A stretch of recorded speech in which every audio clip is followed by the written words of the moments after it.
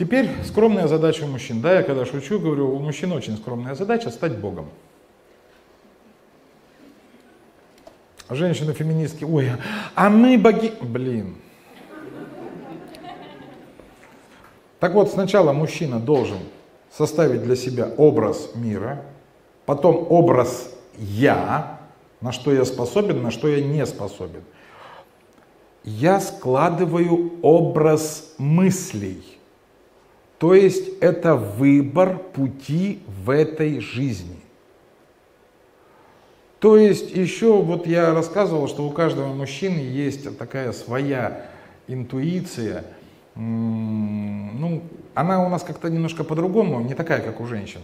Женщины чувствуют вот это, а мужики знают. Откуда знают, не знают, но знают.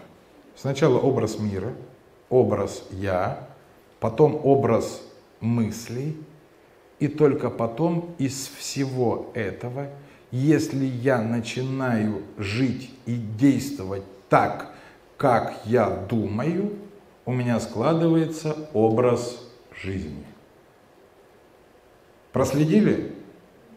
Образ мира, образ я, образ мыслей, образ жизни.